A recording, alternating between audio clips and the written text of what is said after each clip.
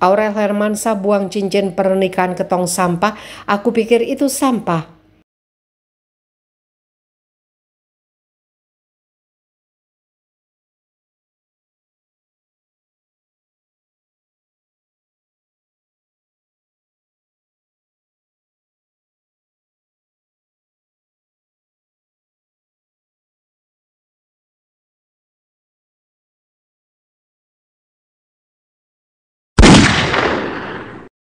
Dapur berita artis terkini.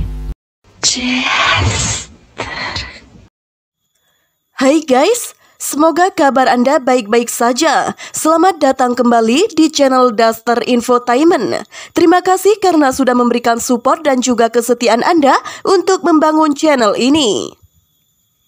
Pada saat menjenguk Atta Halilintar di rumah sakit, Aurel Hermansa mengalami kejadian yang tidak menyenangkan, kehilangan cincin pernikahan. Agak stres sih aku cincinnya hilang ujar Aurel Hermansa. Di sisi lain, kakak tarik Halilintar tersebut tampak tenang menyikapi masalah hilangnya cincin pernikahan Aurel Hermansa. Kok bisa hilang sih sayang tutur Atta Halilintar dikutip dari YouTube AHA.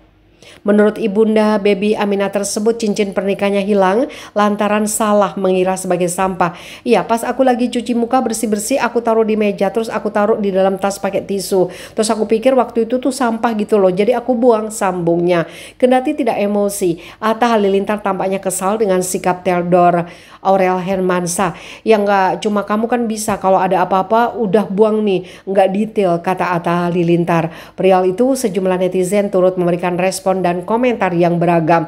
Semoga cepat ketemu tulis seorang netizen beli lagi banyak duit Aurel. Ucap netizen yang lain Aurel pelupa ujar netizen yang lainnya.